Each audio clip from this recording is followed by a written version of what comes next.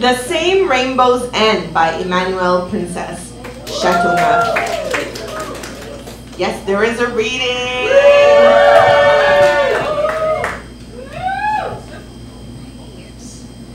Um, so this is like a Superman fanzine in the way that I feel that it should be written.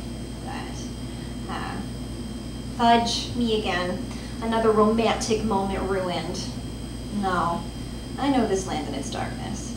Like millions of others, I'm also only just another fugitive immigrant seeking shelter and safety after unspeakable devastation and loss. I'm not special. My story isn't unique. I'm Clark Kent, just another privileged guy who technically has a trust fund.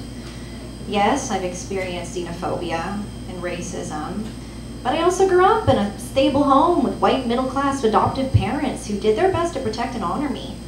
I have amazing talents that, although different, can make a difference if only I'm brave enough to try. Lois, I mean, it isn't my business to tell you her life story, but she's also a survivor.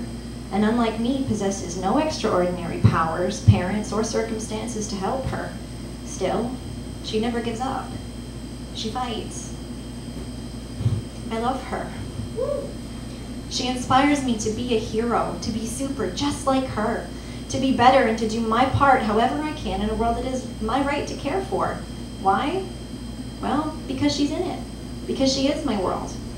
And once I've gotten myself together a little better, uh, I'll finally ask her out on a proper date. Can't do that if we blow up, right? Anyways, I'm trying not to dwell on it all too much, you know. I'm positive everything will work out exactly as it's meant to, in time.